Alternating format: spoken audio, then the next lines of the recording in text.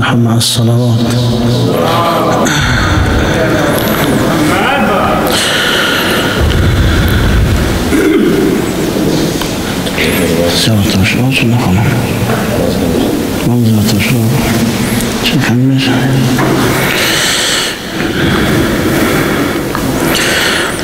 بسم الله الرحمن الرحيم. فاطمة الزهراء عليها السلام بنت رسول الله صلى الله عليه وآله وسلم. قال سمعت فاطمة أنه قالت دخل علي أبي رسول الله في بعض الأيام. فقال السلام عليك يا فاطمة فقلت عليك السلام. قال إني أجد في بدني زوفا فقلت له أعيذك بالله. يا أبتاه من الزوف فقال يا فاطمة ائتيني بالكساء اليماني. فغديني به فأتيته بالكساء اليماني. فغديته به وسرت أنظر إليه. وإذا وجهه يتلألأ كأنه الباد في ليلة تمامه وكماله فما كانت إلا ساعة وإذا بولدي الحسن عليه السلام. قد أقبل وقال السلام عليك يا أمة فقلت عليك السلام يا قرة عيني وثمرة فؤادي فقال يا أمة إني أشم عندك رائحة طيبة كأنها رائحة جدي رسول الله صلى الله عليه وآله وسلم. فقلت نعم إن جدك تحت انكسار فأقبل الحسن نحو الكساء وقال السلام عليك يا جدا يا رسول الله أتأذن لي أن أدخل معك تحت انكسار؟ فقال وعليك السلام يا ولدي ويا صاحب حوضي. قد أذنت لك فدخل معه تحت انكسار فما كان إلا وإذا بولدي الحسين عليه السلام قد أقبل وقال السلام عليك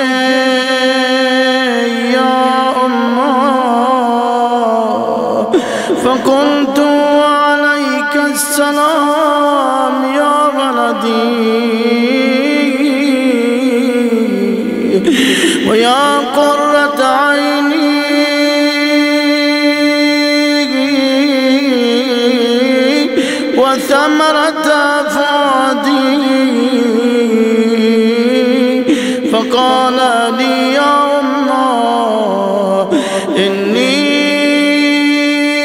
أشم عندك رائحة طيبة.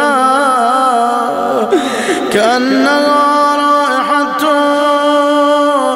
جدي رسول الله صلى الله عليه وآله وسلم.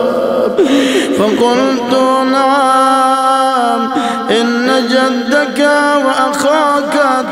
الكساء فدنا الحسين عليه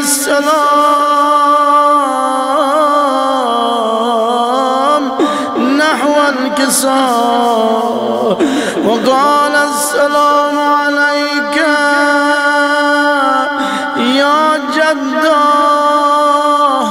السلام عليك يا من اختاره الله أتأذن لي أن أكون معكما تحت الكساء. فقال وعليك السلام يا ولدي ويا شافع أمتي. قد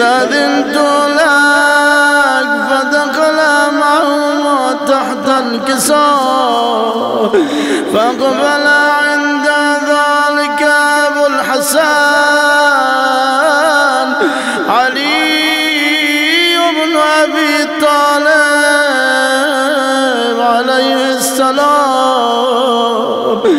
وقال السلام عليك يا بنت رسول الله.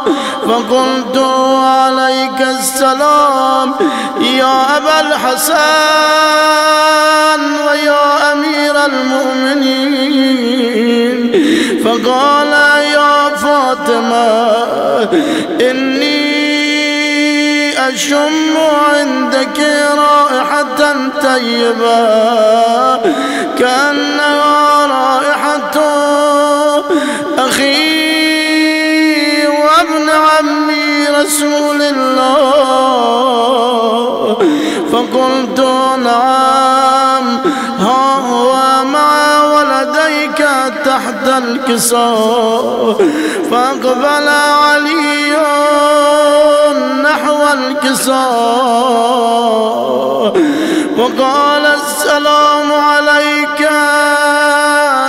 يا رسول الله. أتأذن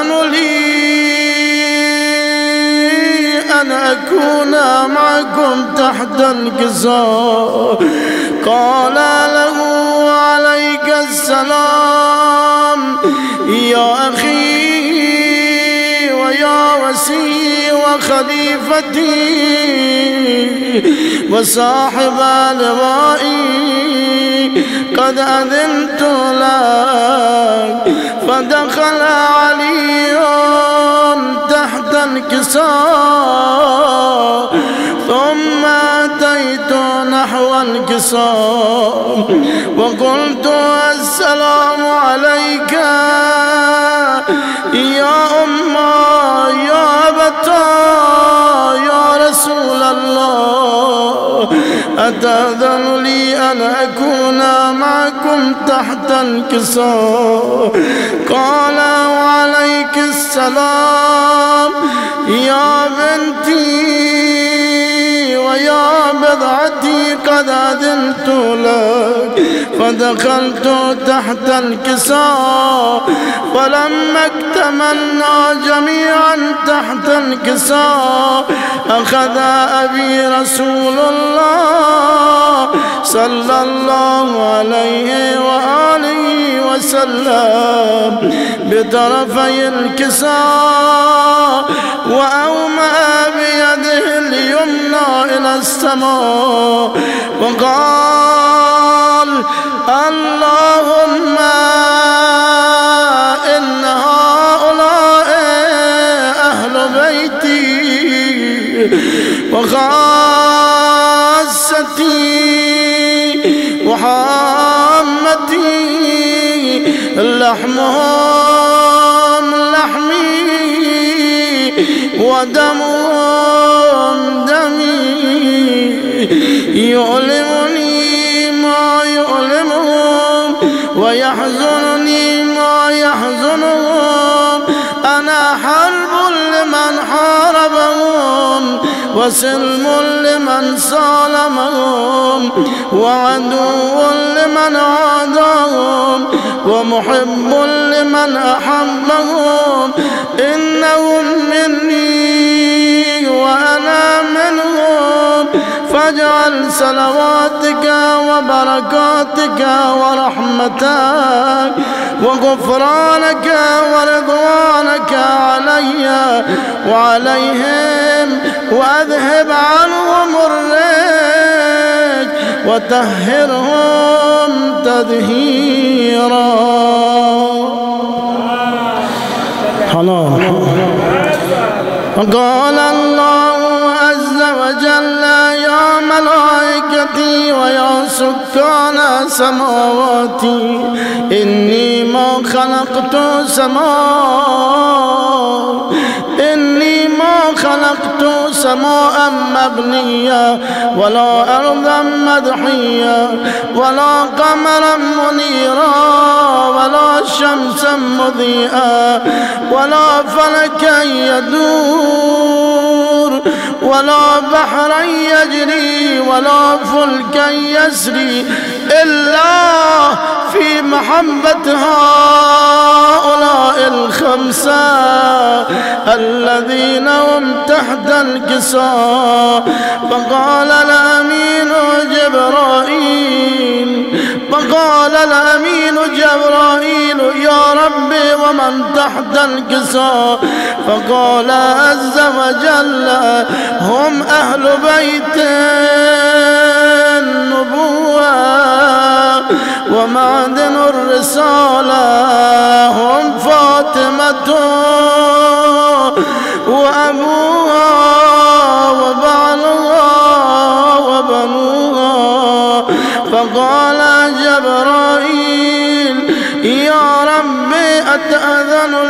أتأذن لي أن أهبط إلى الآن لأكون معهم سادسا فقال الله نعم قد أذنت لك فهبت الأمين جبرائيل.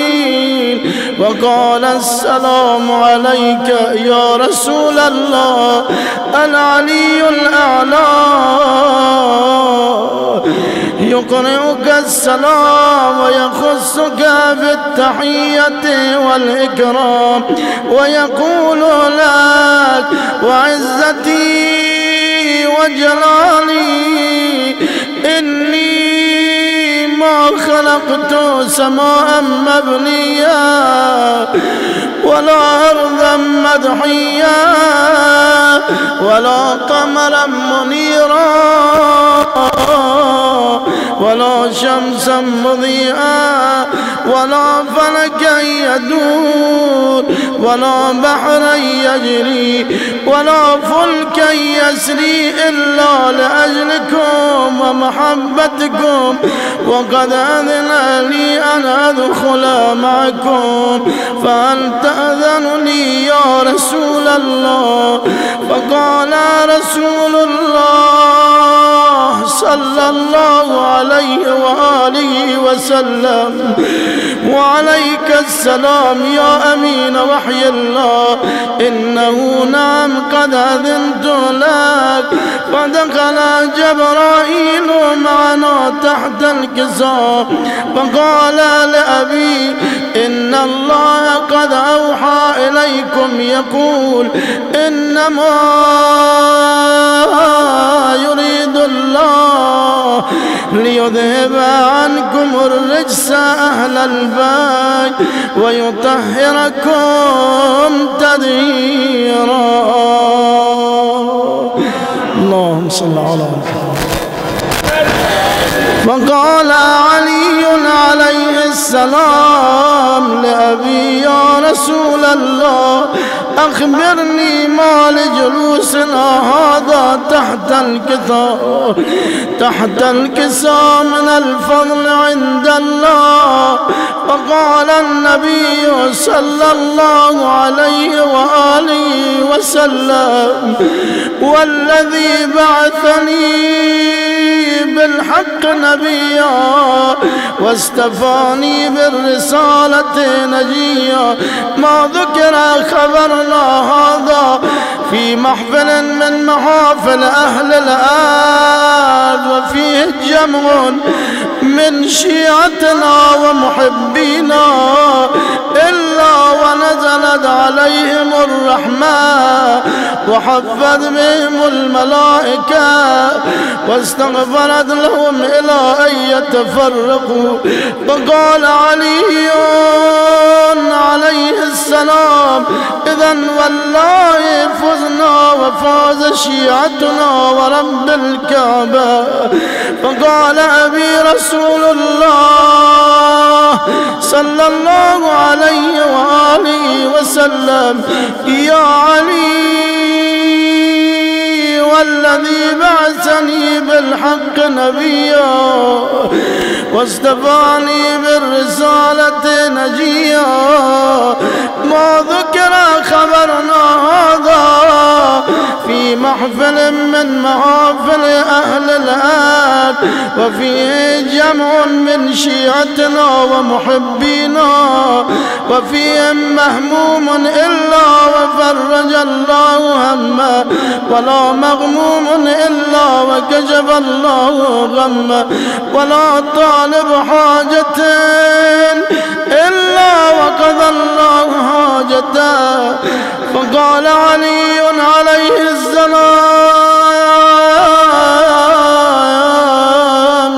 إذا والله فزنا وسعدنا وكذلك شيعتنا.